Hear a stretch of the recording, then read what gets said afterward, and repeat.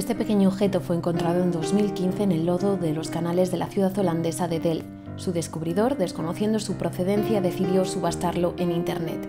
Un médico español pujó por él y por tan solo mil euros consiguió incorporar a su colección el primer microscopio de la historia. Lo había construido Anton van Leeuwenhoek hacía 341 años.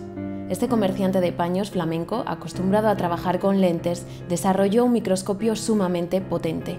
Consiguió 300 aumentos que le permitían observar protozoos, glóbulos rojos, espermatozoides e incluso bacterias. Aunque Liebenhock creó más de 500 ejemplares, en la actualidad solo existen 10, y este, que podemos ver en el Museo de la Evolución Humana, es el único que se ha sometido a todas las pruebas para constatar su autenticidad.